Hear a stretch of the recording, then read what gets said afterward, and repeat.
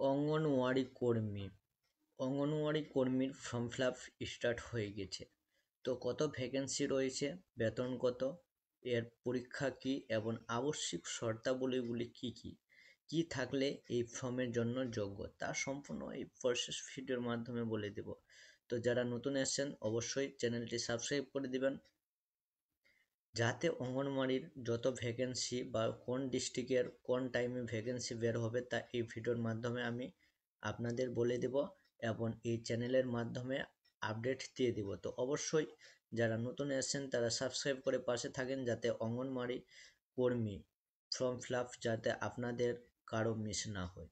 তাহলে চলুন আজকে ভিডিওটি স্টার্ট করি। ভিডিওটি স্টার্ট করার আগেই বলি এর বেতন সম্পর্কে।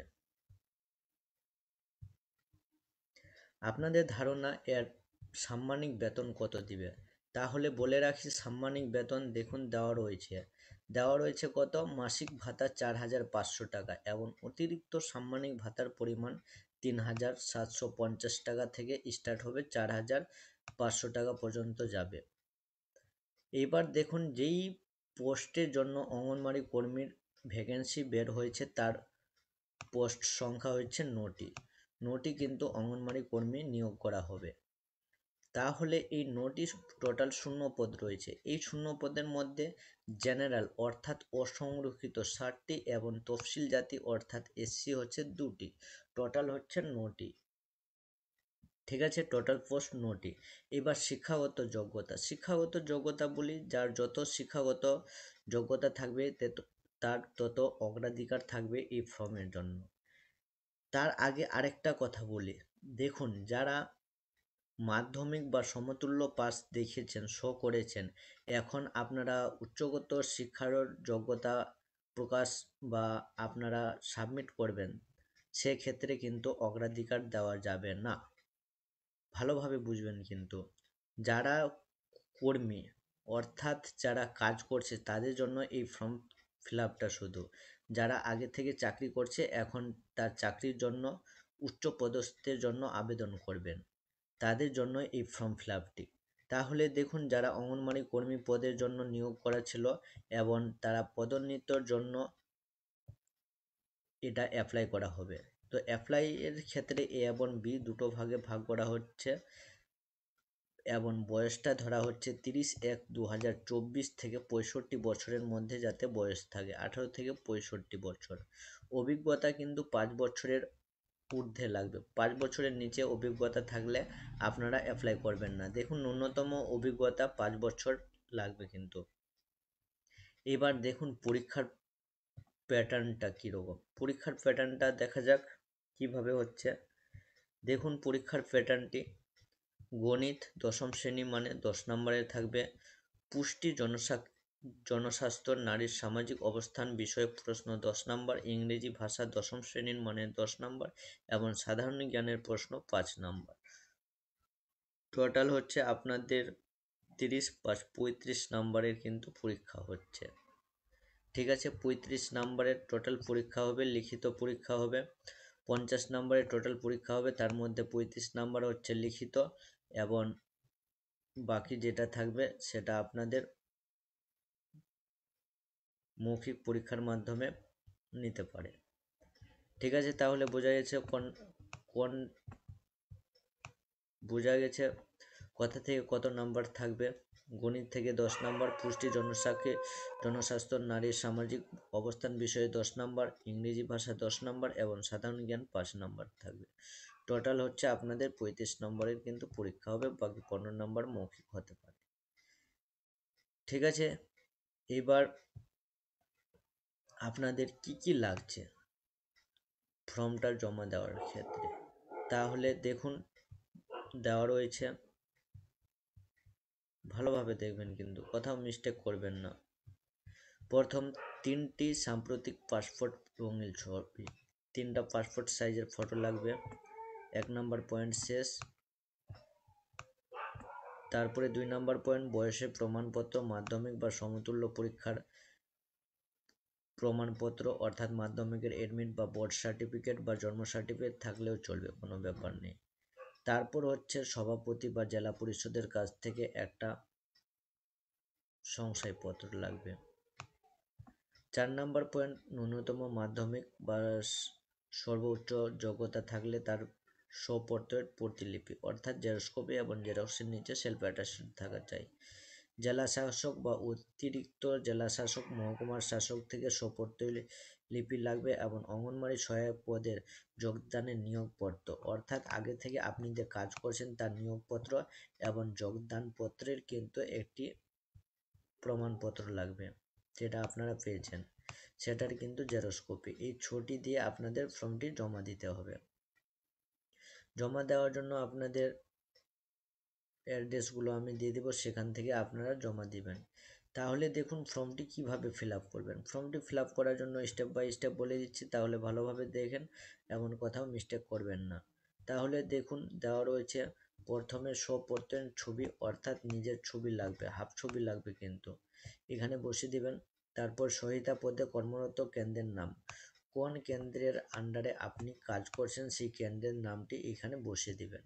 এবং যেই কেন্দ্রে আপনি কাজ করছেন, তার একটি কেন্দ্রের কোড থাকে, সেই কোডটি এই ঘরের মধ্যে বসিয়ে দিতে হবে। কোন গ্রাম পঞ্চায়েতের আন্ডারে কাজ করছেন, এখানে বসিয়ে দিবেন। এবং বিজ্ঞপ্তির নাম্বার এখানে কত নাম্বার বিজ্ঞপ্তি, একটু পরেই আমি বলে দেব এবং কত তারিখে প্রকাশিত হয়েছে, সেই তারিখটি এখানে লিখে দিবেন। এই হচ্ছে মেন পয়েন্ট এটি কিন্তু ভালোভাবে ভরবেন, কোথাও মিস্টেক করবেন না। তারপর এক নম্বর পয়েন্ট দেখুন, নিজের নাম দিতে হবে, নিজের নামটি ভালোভাবে ভরবেন, বাংলায় লিখলেও চলবে, ইংলিশে লিখলেও চলবে, কোনো অসুবিধা নেই। তারপর বাবার নামটি এই ঘরের মধ্যে বসে দিবেন এবং তিন নম্বর পয়েন্ট হচ্ছে স্বামীর নাম। যদি আপনার বিবাহ হয়ে থাকে তাহলে স্বামীর নামটি অবশ্যই বসাবেন। চার নম্বর পয়েন্ট স্থায়ী বসবাসের ঠিকানা চেয়েছে। গ্রামের নাম, গ্রাম পঞ্চায়েতের নাম, জেলা, জেলার নাম, পোস্ট অফিস, থানা এবং পিনকোড এখানে বসিয়ে দেবেন। দেখতে পাচ্ছেন বাংলায় দেওয়া রয়েছে কোনো অসুবিধা নেই। অসুবিধা থাকলে আমাকে কমেন্ট করে জানাতে পারেন, আমি বলে দেওয়ার চেষ্টা করব। তারপর পয়েন্ট দেখুন, পাঁচ নাম্বার পয়েন্ট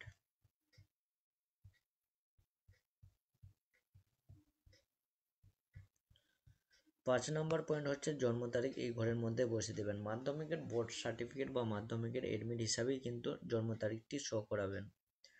ছয় নম্বর পয়েন্ট অঙ্গনওয়াড়ি কর্মী সহায়তা পদের যোগদানের তারিখ। অর্থাৎ আপনি যে অঙ্গনওয়াড়ি সহায়তার জন্য, সহায়িকা পদের জন্য যে তারিখে আপনি যোগদান দিয়েছেন তার ডেটটি এখানে বসাবেন। সহায়িকা পদের যোগদানের আদেশ নামার নাম্বার, যেটাতে আপনারা একটা চিঠি পেয়েছেন, সেখানে একটি আদেশ নাম্বার নাম্বার রয়েছে। সেই নাম্বারটি এবং তারিখটি বসাতে হবে এখানে। তারপর জাতি আপনি জেনারেল না, ওবিসি না, এসসি, সেই, এই ঘরের মধ্যে বসে দেবেন। এসসি থাকলে এসসির কাস্ট নাম্বার এবং ইস্যু ডেটটা বসাবেন এবং কোন ই থেকে প্রদান করা হয়েছে, সেই প্রদান সংস্থার নাম লিখতে হবে। নয় নাম্বার, আধার নাম্বারটি এই ঘরের মধ্যে বসিয়ে দেবেন, দশ নাম্বার, মোবাইল নাম্বারটি এই ঘরে বসাবেন। এগারো নাম্বার হচ্ছে যোগদানের সময় শিক্ষাগত যোগ্যতা আপনি কি শো করেছিলেন এই ঘরের মধ্যে বসিয়ে দেবেন।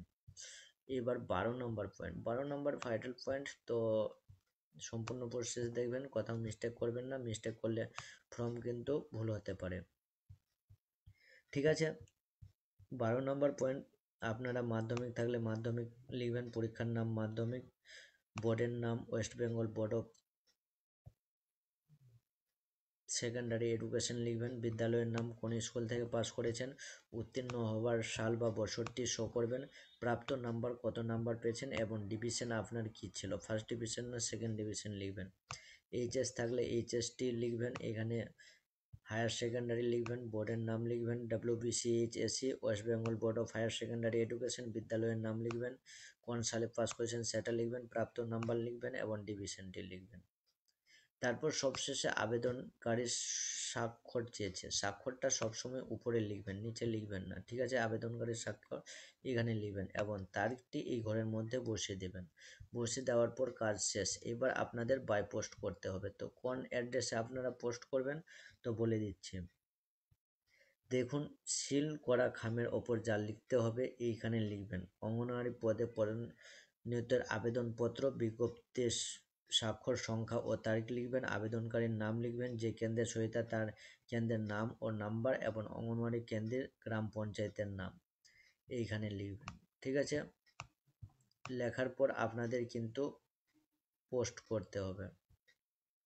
তো এটা কোন ডিস্ট্রিক্টের জন্য ছেড়েছে তা বলে দিচ্ছি। এটা শুধুমাত্র পুরুলিয়া ডিস্ট্রিক্টের জন্য ছেড়েছে। অন্যান্য ডিস্ট্রিক্ট এখনও ছাড়া হয়নি। ছাড়লে আমি অবশ্যই আপনাদের জন্য ভিডিও দিয়ে দেব। তো অবশ্যই চ্যানেলটি সাবস্ক্রাইব করে রাখবেন।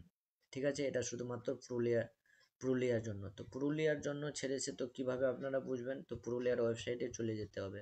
Purulia dot G O V dot in এই ওয়েবসাইটে যাবেন, যাওয়ার পর নোটিশ ক্যাটাগরিতে সিলেক্ট করবেন রিক্রুটমেন্ট বলে অপশন রয়েছে, সেখানে ক্লিক করবেন।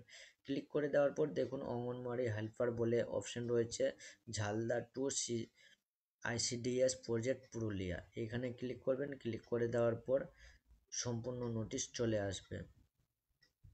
ঠিক আছে? এই হচ্ছে পুরো নোটিশ আরও নোটিশ দেওয়া রয়েছে, এই নোটিশটাও দেখতে পারেন, আপনারা অসুবিধা নেই। আপনার যেটা ইচ্ছা আপনি নোটিশ দেখতে পারেন। এটাতে তেইশটা শূন্যপদ রয়েছে।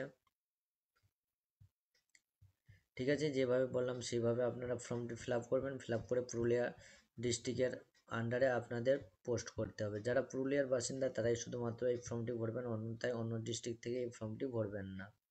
তাহলে আশা করি ভিডিওটি বোঝা যাচ্ছে এবং ভিডিওটি ভালো লাগলে লাইক শেয়ার অবশ্যই করবেন।